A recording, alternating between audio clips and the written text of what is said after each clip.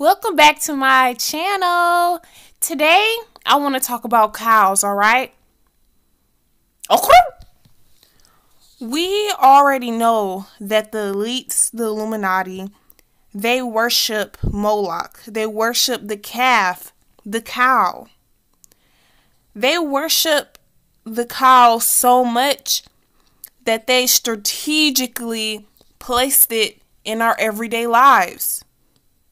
They push children to drink milk. They push us all to drink milk. It's supposed to help our bones, some bullshit like that. 2022, be suspicious of the cow. Now, Moloch isn't the only cow deity. There's the Egyptian goddess Hathor. There's a Hindu goddess or god. I don't know. It's a cow. I'm going to place a picture. But these elites really fuck with the cow, alright?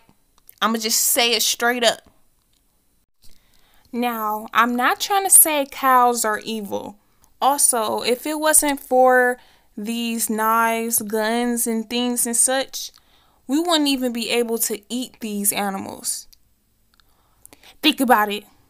We outie.